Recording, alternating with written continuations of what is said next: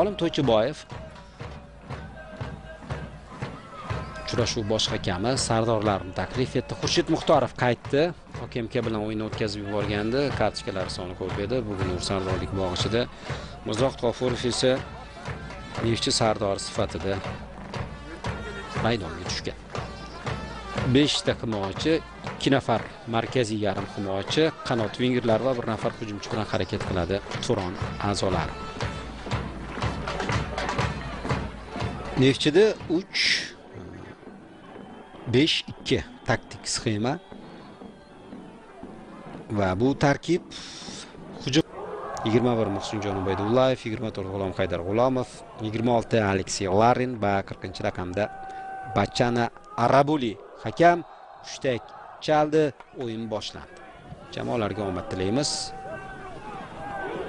Saqlab qolinib yana bir qator yangi yaxshi futbolchilar taklif etilsa bemalol bu klub chempionlik uchun kurasha oladi. Neftchi haqida bu yil faqat va faqat ijobiy fikr bildirish mumkin yuqoridan to'p yetkazib berilyapti. Darvozabon katta qatnashmaydi degan ma'lumotlar ko'payib ketgandi. Yo'q bular tasdig'ini topgani yo'q.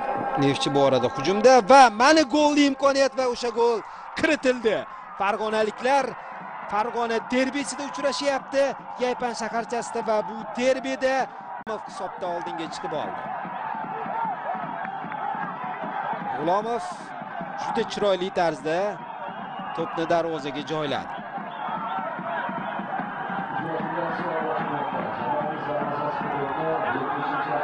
Bu yerda golni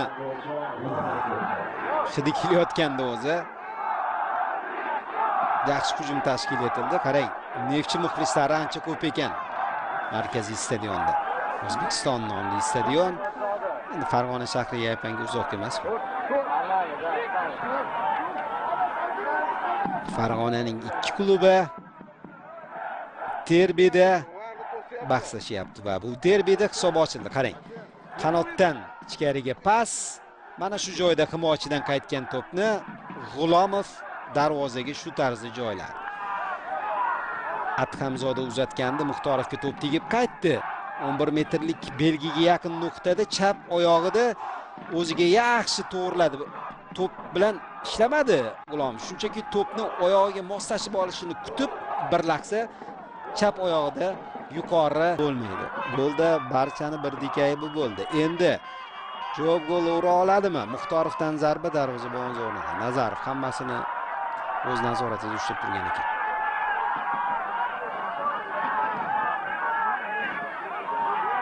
Juda xotirjam to'pni ilib oldi nazarov terma jamoamiz o'yinlari borligi haqida aytdim. Hozir esa neftchi keyingi golni urishga yaqin yaqin kelgandi. Yana g'ulomov tepdi darvozaga to'pni. Bir amallab himoyachilar qaytardi. Darvozabon chalib jamoalarini tanaffusga taklif etdi. Biz ham futbolchilar bilan birga biroz dam olamiz. Do'stlar 15 daqiqadan keyin qaytamiz.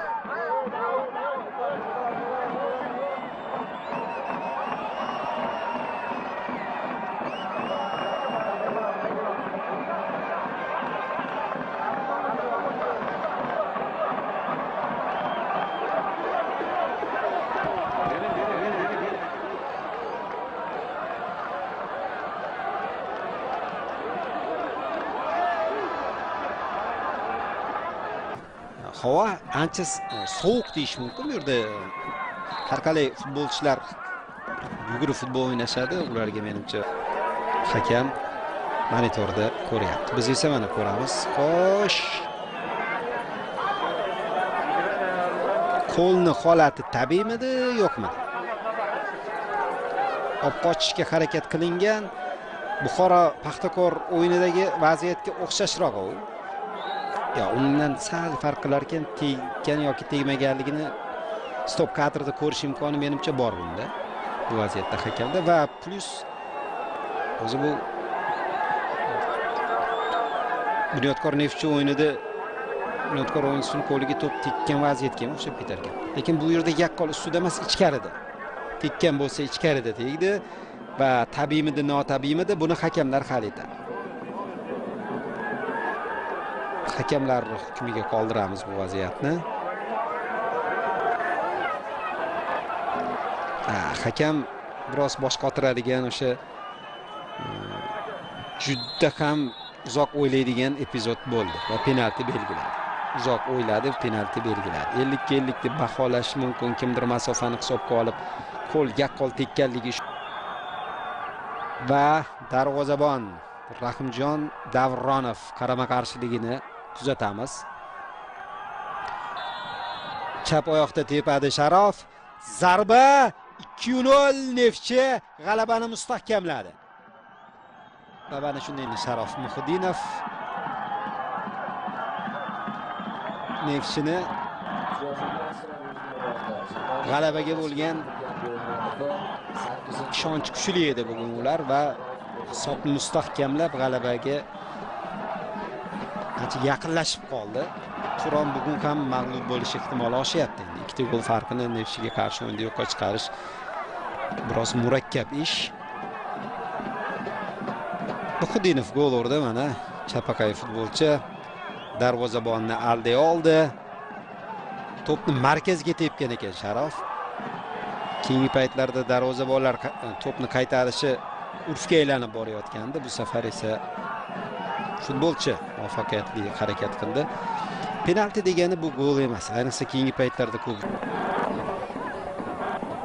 Hmm, o'yin e, muxlislarni ovozi eshitilmay qoldi. Nimagadir o'ylaymanki hammasi joyiga tushadi. Yuqoridan to'p oshirildi darvozabon urib yubordi muxlislarni ovozi ham eshitila boshladi. Nazarov menimcha xavfni bartaraf etdi.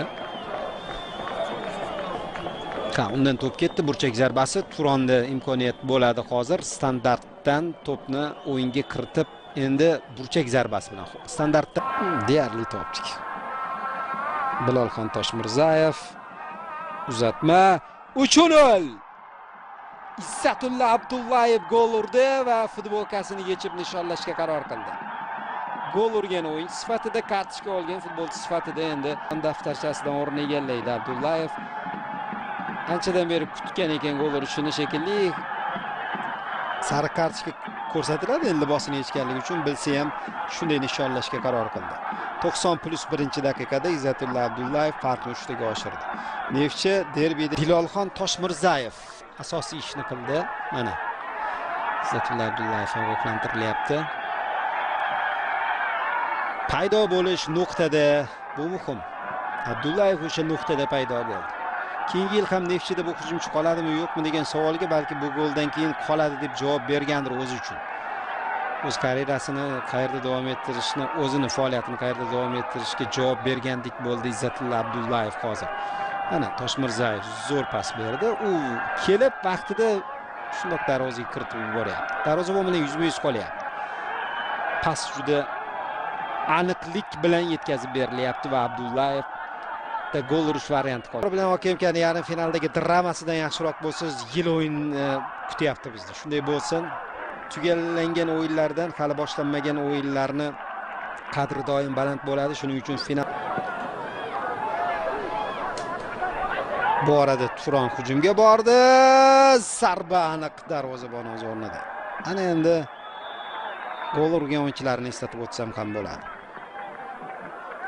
Ruhiddinov tomonidan 56 daqiqada penaltidan kiritildi izzatulla abdullayev 90 plyus 1 da farqni 3-0 ko'rinishga keltirdi. Neftchi turonni safarda shu hisobda yengdi.